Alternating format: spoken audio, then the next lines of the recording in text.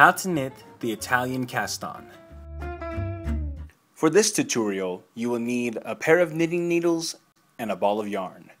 Special thanks to our sponsor Lion Brand for providing today's yarn. Today we are using their Martha Stewart's Crafts line Extra Soft Wool Blend in the color Winter Sky. Step one, we're going to take a length of yarn that's three times the length of what we want our cast on to be. So for this one, we're going to do 10 stitches cast on. So we're going to measure 30 stitches. A good way to do that is just wrap the yarn around your needle a few times. I'm going to do five times here. Then we'll just measure out because that's about five stitches. So that's 10, 20, and that will be about 30 right there. Okay. That's also a good method to use when you're doing the long tail cast on. Alright, step two, we're going to take our yarn and we're going to place our index finger and our thumb in the middle of the yarn and spread it out. Alright, step three, we're going to take this yarn and we're just going to place our needle on top of it and twist it around right? That's going to give us a nice little stitch right there, and that will be our first stitch. Actually, that's the wrong direction.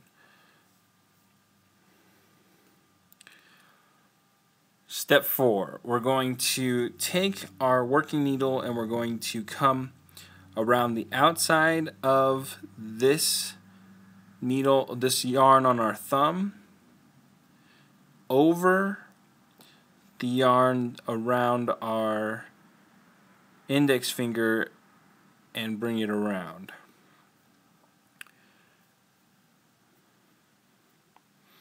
Okay, step five, we're going to come around both stitches, going around the outside of our index finger, and then we're going to come over the thumb yarn and back around. Okay, so now we have three stitches on our needle. So we're just going to repeat steps 4 and 5 until we've cast on all of our stitches uh, until we get to one stitch left.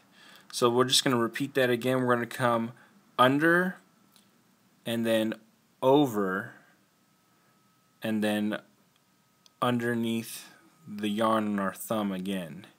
Okay, and then for the next step, we're going to come under both and then underneath the yarn on our index finger like so. Okay, so that gives us two more stitches. We're at five. So we're just going to finish up our 10 stitches real quick here.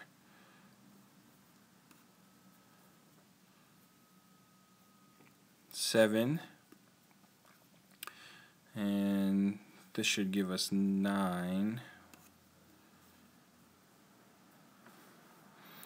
Okay, and then to finish up, all we're going to do is just do what we would for like a single cast on. So we're just going to pick up the yarn around our thumb and pull it tight. Just like that.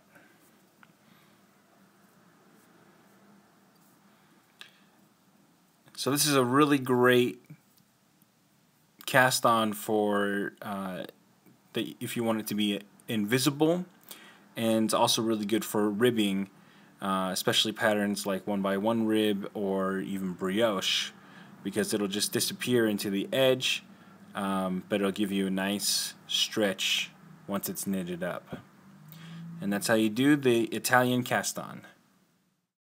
Want more New Stitch a Day? Check out our website at newstitchaday.com. New Stitch Day is a craftery media production. Check out our other shows at fiberstory.tv and yarntripper.com. This video is licensed under a Creative Commons Attribution No Derivatives 3.0 unported license, which means use it on your website, put it in your patterns, but please don't change anything.